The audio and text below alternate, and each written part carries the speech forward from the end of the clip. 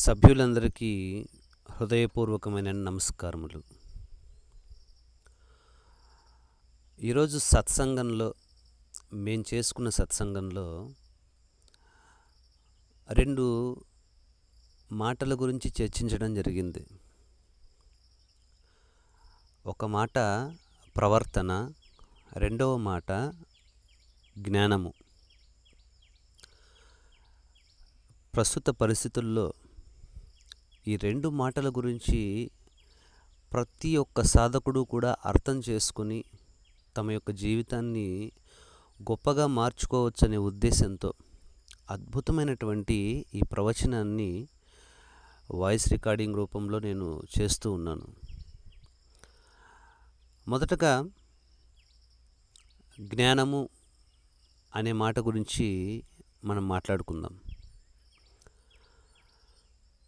జ్ఞానము అంటే మామూలుగా అందరూ జ్ఞానాన్ని దీపంతోనూ జ్యోతితోనూ పోలుస్తారు. జ్ఞానజ్యోతి అంటూ ఉంటారు.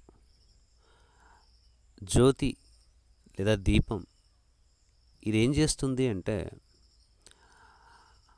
దీపం అనేది చీకట్లో కనపడకపోతే గనుక వెలుతురును ప్రసరింపజేసి వస్తువులను చూడగలిగేలా సహాయపడుతుంది. అంటే దీపం ద్వారా మనము చూడలేనటువంటి వస్తువులను పారదర్శకంగా చూడగలుగుతాం. అంటే ఉన్నదాన్ని ఉన్నట్టుగా చూపించడంలో మనకు దీపం సహాయపడుతుంది. ఈ దీపం మన చేతిలో ఉన్నప్పుడు కీకారణ్యం లాంటి మన జీ మన యొక్క జీవన ప్రయాణంలో ఎప్పుడైతే మనకు దీపం ఒకటి ఉందంటే ఆ అరణ్య మార్గంలో మహాభయంకరమైనటువంటి జీవితం అనే అనే అరణ్య మార్గంలో దీపాన్ని చేతపట్టుకొని చాలా సురక్షితంగా మనం ముందుకు ప్రయాణించవచ్చు. ఎటువంటి దెబ్బలు తగిలించుకోకుండా ముళ్ళ నుంచి పొదల నుంచి మనల్ని మనం రక్షించుకుంటూ మన యొక్క ప్రయాణం అనేది చాలా సాఫీగా జరుగుతుంది. అదే అడవిలో ప్రయాణించాల్సి ప్రయాణించాల్సి వచ్చినప్పుడు మన చేతిలో దీపం లేదనుకోండి అదే ప్రయాణమే చాలా భయంకరంగా ఉంటుంది. ముళ్ళు గుచ్చుకుంటూ చెట్ల కొమ్మల్ని వేర్లన్నీ తగిలించుకుంటూ గాయపడుతూ అనేక జీవరాశుల్ని తొక్కేస్తూ ఇలాగ మనము మనల్ని మనకు హాని కలిగించుకుంటూ ఇతర జీవరాశులకు హాని కలిగిస్తూ మన ప్రయాణం కొనసాగుతుంది. అదే గనక మన చేతిలో దీపం ఉన్నట్టయితే మన ప్రయాణము మనకు మిగిలిన జీవరాశులకు కూడా సౌఖ్యాన్ని కలిగిస్తుంది. మరి జ్ఞానజ్యోతి అంటే ఏమిటి? జ్ఞానము అనే మాటకు అర్థము సత్య దర్శనము అని అర్థం. జ్ఞానజ్యోతి అంటే సత్యము ఏదైతే ఉందో ఉన్నదాన్ని ఉన్నట్టుగా చూపించడమే జ్ఞానజ్యోతి అంటే. ఎప్పుడైతే నీలో జ్ఞానజ్యోతి వెలిగిందో అప్పుడు సత్యమైన మార్గంలో నువ్వు నడవడానికి నీకు వీలుంటుంది. ప్రస్తుత తరుణంలో ప్రతి ఒక్కరిలోనూ ఈ యొక్క జ్ఞానజ్యోతి అనేది నిజానికి సదా ప్రకాశిస్తూనే ఉంటుంది. కానీ మన చేతిలో దీపం ఉండటం ఇంపార్టెంట్ కాదు. దీపం ఉన్నా కూడా నువ్వు కళ్ళు మూసుకున్నావు అనుకో అప్పుడు కూడా నువ్వు ఎదుటగా ఉన్నటువంటి వస్తువులను చూడలేవు. నీ జీవన ప్రయాణాన్ని కొనసాగించలేవు. ప్రస్తుతం తరుణంలో మానవులందరూ కూడా వారిలో జ్ఞానజ్యోతి సదా వెలుగుతూ ఉన్నా కూడా వారు కళ్ళు మూసుకున్నారు. అహంకారం అనే చీకట్లోనే ఉంటూ ఉన్నారు. తమలో జ్ఞానజ్యోతిని ఉంచుకుని కూడా దాని చేత దాని సహాయం చేత సత్యదర్శనాన్ని చేస్తూ గొప్పగా నడవాల్సింది పోయి కళ్ళు మూసుకొని ఆ జ్ఞానజ్యోతిని ఉపయోగించకుండా దాని యొక్క ఉపయోగాన్ని పొందకుండా ప్రయోజనాన్ని పొందకుండా జీవిస్తూ ఉన్నారు. ఇక్కడ మనకు జ్యోతి ఎందుకు కావాలి? అతి క్లిష్టమైనటువంటి మన జీవన ప్రయాణాన్ని సౌఖ్యంగా మార్చుకోవడానికి లోకహితం గావించుకోవడానికి మనకు దీపం కావాలి. మరి జ్ఞానదీపం ఎందుకు కావాలి? జ్ఞానజ్యోతి ఎందుకు కావాలి అంటే మన జీవన విధానాన్ని అస్తవ్యస్తంగా దుఃఖభూయిష్టమైనటువంటి జీవన విధానాన్ని మనం సరి చేసుకుని అత్యున్నత స్థాయిలో జీవించడానికి మన యొక్క జీవిత ప్రయాణం గొప్పగా కొనసాగడానికి మనకు జ్ఞానజ్యోతి కావాలి. ఎప్పుడైతే జ్ఞానం అంటే సత్యమును దర్శించడం అని అర్థం.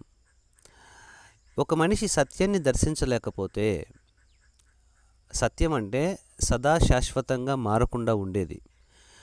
ఎప్పుడైతే ఒక మనిషి సత్యాన్ని దర్శించలేడో అప్పుడు అసత్యమైనటువంటి దృక్పథంతోనే జీవిస్తూ ఉంటాడు. కానీ ఎవరైతే తనలో ఉన్నటువంటి ఆత్మజ్యోతిని సత్యజ్యోతిని దర్శిస్తారో వారు వారి యొక్క అహంకారాన్ని పూర్తిగా నాశనం చేసుకొని సర్వత్రా సమదర్శనాన్ని పాటిస్తూ అంతా ఒక్కటే ఈ లోకమంతా ఒక్కటే ఈ లోకమునందు ప్రతి అణువులోనూ సత్యం ఉంది ఈశ్వరుడు ఉన్నాడు భగవంతుడు ఉన్నాడు అని ఆ యొక్క సత్యాన్ని అర్థం చేసుకుని వారు నడవడం ప్రారంభిస్తారు. ఎందుకంటే బాగా గమనించండి జ్ఞానము పొందడం ఇంపార్టెంట్ కాదు. అంటే జ్యోతిని పొందడం ఇంపార్టెంట్ కాదు. ఆ జ్యోతిని ఉపయోగించి గొప్పగా నడవడం ఇంపార్టెంట్. అంటే చేతిలో లైట్ ఉన్నంత మాత్రాన మనం గమ్యాన్ని చేరినట్టు కాదు. మన యొక్క నిజానికి మనం ఎందుకు జ్ఞానాన్ని పొందాలి అంటే మనం ఎందుకు దీపం పట్టుకోవాలి అంటే మన జీవన ప్రయాణాన్ని గొప్పగా కొనసాగించడం కోసమే కదా. మరి జ్ఞానజ్యోతి ఎందుకు కావాలి? జ్ఞానజ్యోతి ఎందుకు కావాలంటే మన మనం గొప్పగా జీవించడానికి గొప్పగా జీవించడం అంటే ఏంటంటే నువ్వు జీవిస్తే నువ్వు నువ్వు జీవించడం వలన లోకహితం జరగాలి. కేవలము నువ్వు నీ జీవితాన్ని నువ్వు జీవించడం వలన లోకహితం జరగాలి. ఎవరైతే లోకహితం జరిగేటట్టుగా లోక శ్రేయస్సు జరిగేటట్టుగా అందరికీ సౌఖ్యం కలిగేటట్టుగా జీవిస్తారో వారిది దివ్య జీవనం అవుతుంది. వారిది గొప్ప జీవితం అవుతుంది. మరి నువ్వు నీ జీవన విధానాన్ని గొప్పగా మార్చుకొని ముందుకు నడవాలి అంటే నీకు జ్ఞానజ్యోతి కావాలి. జ్ఞానజ్యోతి అంటే సత్యము తెలుసుకోబడాలి. సత్యము తెలుసుకున్నటువంటి వారు ఎవరైనా సరే వారు ఎలా ఉంటారంటే ప్రతి ఒక్క సంక్లిష్ట పరిస్థితిని వాళ్ళు గొప్పగా అర్థం చేసుకుంటారు. కష్ట నష్టాలలోని సత్యాన్ని దర్శించగలుగుతారు. వారు సరైనటువంటి నిర్ణయాలు తీసుకోగలుగుతారు. ఉదాహరణకు చూడండి ఈ లోకంలో ప్రస్తుతము ఇంత భయానకమైనటువంటి హింస భయంకరమైనటువంటి అధర్మము అన్యాయము భరించలేనటువంటి దుర్మార్గపు కార్యక్రమాలన్నీ జరుగుతూ లోకంలో ప్రజలు సామాన్యులు ఇంతగా ఎందుకు నష్టపోతున్నారంటే కేవలం ఒక నాయకుడి బుర్రలో పుట్టినటువంటి ఒక దుష్ట ఆ స్వార్థపూరితమైనటువంటి ఆలోచన వల్ల. ఎప్పుడైతే ఒక నా నాయకుడికి జ్ఞానము కలగలేదో అప్పుడు అతనికి ఎటువంటి పరిస్థితుల్లో కూడా నిస్వార్థమైన సమదృష్టి కలగనే కలగదు. మరి నాయకుడు అంటే నాయకుడి యొక్క ఆదేశాలను లక్షల మంది పాటించడానికి సిద్ధంగా ఉంటారు. నాయకుడైనా గురువైనా కుటుంబ పెద్ద అయినా వారి వారు ఇచ్చే ఆదేశాలను బట్టి మిగిలిన వారి జీవితం ఉంటుంది. దాని ఫలితం కూడా అలాగే ఉంటుంది. కానీ ఎప్పుడైతే నాయకుడు జ్ఞానం లేకుండా ధర్మం అంటే ఏంటో తెలియకుండా అసలైనటువంటి సత్యం అంటే ఏంటో తెలియకుండా అతను ఆలోచనలు చేసి ఆలోచనలనే ఆదేశాలుగా కింది వారికి ఇచ్చి వారిని నడిపించడం చేత ఈ లోకం ఇలా నాశనమైపోతూ ఉంటుంది. అందుకే నాయకుడు అనేవాడు చాలా చాలా ముఖ్యమైనటువంటి పాత్ర ఈ లోకంలో ఉంటుంది అత- అతనికి. నాయకుడు జ్ఞానజ్యోతిని ఉపయోగించగలగాలి ముందుగా జ్ఞానాన్ని సాధించాలి. జ్ఞానజ్యోతిని సాధించడం ఒక ఎత్తు అయితే దాన్ని సరిగా ఉపయోగించడం మరొక ఎత్తు. బాగా చూడండి ఒక లక్ష మంది అనుచరులు ఉన్నటువంటి ఒక నాయకుడు ఉన్నాడు అనుకుందాం. ఉదాహరణకి హిట్లర్. అతను తన సొంత ఫ్రస్ట్రేషన్తో అతను తన సొంత ఫ్రస్ట్రేషన్తో సొంత స్వార్థంతో తన యొక్క అహంకారాన్ని సంతృప్తిపరచుకోవడం కోసం అనేక రకాల చెడు ఆజ్ఞలను నష్టం కలిగించే ఆజ్ఞలను సైనికులకిచ్చి కొన్ని లక్షల మందిని ఊచకోతకు గురి చేసి నాశనం చేసేశాడు. ఆ దేశం యొక్క జీవన గతినే మార్చేశాడు. చరిత్రలో ఒక దుర్మార్గుడిగా స్థానం పొందాడు. అతని నాయకత్వంలో ప్రతి ఒక్కళ్ళు కూడా నష్టపోయారు.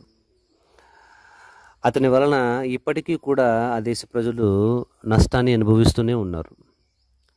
చూసారా ఒక నాయకుడిలో జ్ఞానము లేకపోవడము చేత. ఒక నాయకుడిలో జ్ఞానజ్యోతి వెలగ జ్ఞానజ్యోతిని అతను ఉపయోగించకపోవడం చేత. అతను తన సొంత భావోద్వేగాల్ని నియంత్రించుకోవడం నియంత్రించుకోలేకపోవడం చేత ఇచ్చినటువంటి ఆదేశాల వల్ల నాశనం అయిపోతూ ఉంటుంది లోకం. జ్ఞానజ్యోతి ఎందుకు కావాలి అనుకుంటే మన ప్రవర్తన అత్యున్నతంగా ఉండడానికి మనకు జ్ఞానజ్యోతి కావాలి. మనం జ్ఞానం ఎందుకు పొందాలి? గొప్పగా జీవించడం కోసమే మనం జ్ఞానాన్ని పొందాలి. గొప్పగా జీవించడాన్నే మనం ప్రవర్తన అంటాం. ప్రవర్తన వర్తించడము అంటే నడుచుకోవడము. ప్రవర్తన అంటే గొప్పగా నడుచుకోవడము.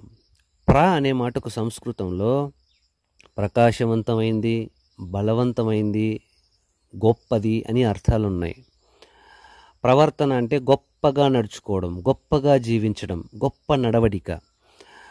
ప్రకాశవంతమైనటువంటి నడవడిక. అంటే ఆ ప్రకాశంలో నువ్వు నడుస్తూ వెళ్తూ ఉంటే ఆ ప్రకాశంతో ఆ వెలుగుతో మిగిలిన వాళ్ళు కూడా ఆ వెలుగును అనుసరిస్తూ గమ్యాన్ని చేరుకుంటారు. మిగిలిన వాళ్ళు కూడా సౌఖ్యంగా ఉంటారు. ఒక లైట్ కనుక మని మన వీధిలో ఒక లైట్ వెలిగితే ఆ ఆ వెలుతురులో అన్ని కుటుంబాలు తమ పనులను చక్కబెట్టుకుంటాయి. అదేవిధంగా ఒక నాయకుడిలో గనక గొప్ప ప్రవర్తన కలిగి ఉంటే తప్పకుండా మిగిలిన జీవితాలన్నీ కూడా ఆ వెలుతురులో తమ జీవితాలని సౌఖ్యంగా మార్చుకోగలుగుతాయి.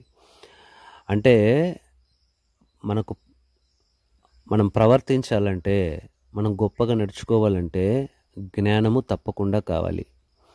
జ్ఞానం అంటే ప్రతి విషయమునందు సత్యాన్ని దర్శించడము. అంటే ప్రతి విషయమునందు అహంకార రహితంగా ఆత్మదర్శనంతో జీవించడం అని అర్థం. ఎందుకంటే ఒక నాయకుడిలో కలిగినటువంటి భావోద్వేగం ఒక కుటుంబ పెద్దలో కలిగినటువంటి కోపమో ఫ్రస్ట్రేషనో లేకపోతే నిరాశ నిస్పృహో దుర్మార్గపు ఆలోచన ఆ కుటుంబం మొత్తం మీద ప్రభావితం చూపిస్తూ ఉంటుంది. కుటుంబంలో ఒక వ్యక్తి ప్రవర్తన సరిగా లేకపోయినా దాని యొక్క ఇంపాక్ట్ ఆ కుటుంబం పైన పడి దాని తద్వారా ఆ ఏరియా పైన సమాజం పైన పడుతూ ఉంటుంది. చూడండి ఎంతోమంది ఎన్ ఎన్నో కుటుంబాల్లో ఒకడికి కలిగినటువంటి దుష్ట ఆలోచన వల్ల వంశం మొత్తం నాశనం అయిపోతూ ఉంటుంది. మనం చూస్తూనే ఉన్నాం ఉదాహరణలు అది అంతెందుకు? మన కుటుంబంలో కూడా ఎవడో ఒకరు ఎవరో ఒకరు బాగలేకపోవడం చేత సరిగా ప్రవర్తించడం ప్రవర్తించకపోవడం చేత మనము ఇబ్బందులు పడుతూనే ఉంటాం. నువ్వు సరిగా ప్రవర్తించాలంటే నీకు సత్యం ఏంటో అసత్యం ఏంటో తెలియాలి. ఈశ్వరుడు సర్వత్రా వ్యాపించి ఉన్నాడు. శాశ్వతమైనటువంటిది సత్యము మాత్రమే. సర్వత్రా సమదర్శనాన్ని మనం పాటించాలి. కేవలం పరోపకారార్థం కోసమే మన యొక్క శరీరాన్ని శక్తిని మనస్సును బుద్ధిని తేజస్సును ఉపయోగించాలి. అన్నటువంటి భావన తో జీవించడమే సత్యదర్శనంతో జీవించడం అంటే.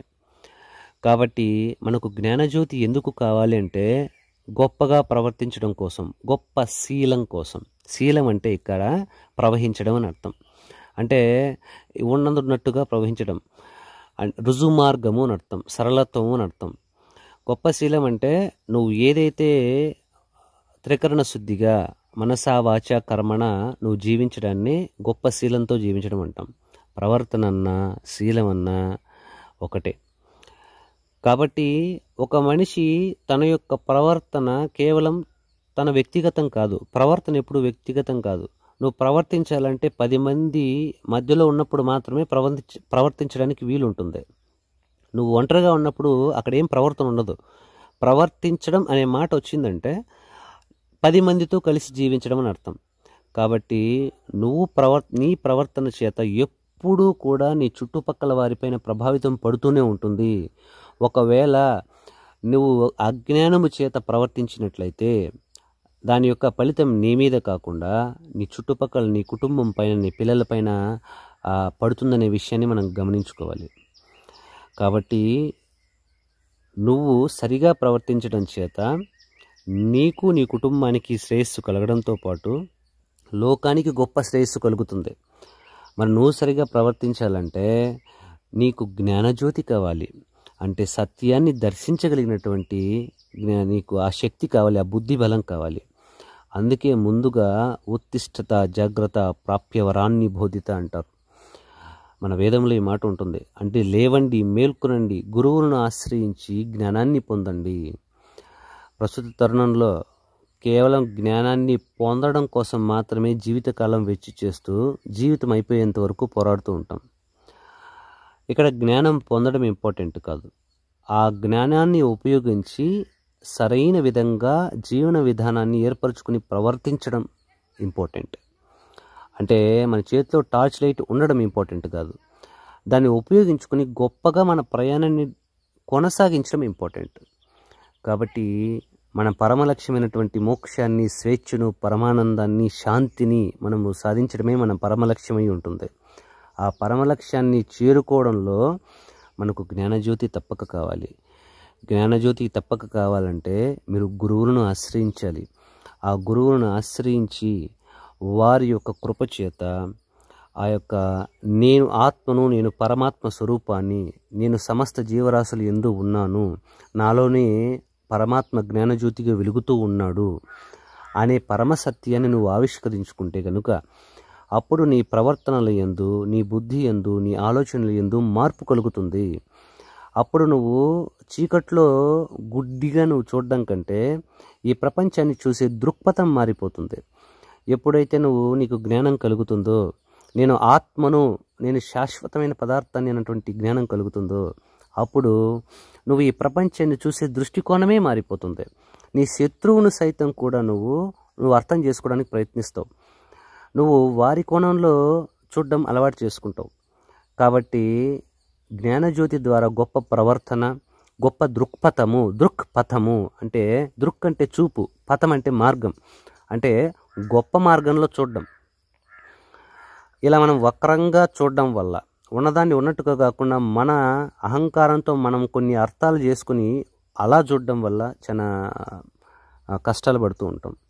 కష్టాలు కలిగిస్తూ ఉంటాం ఇతరులకు కూడా.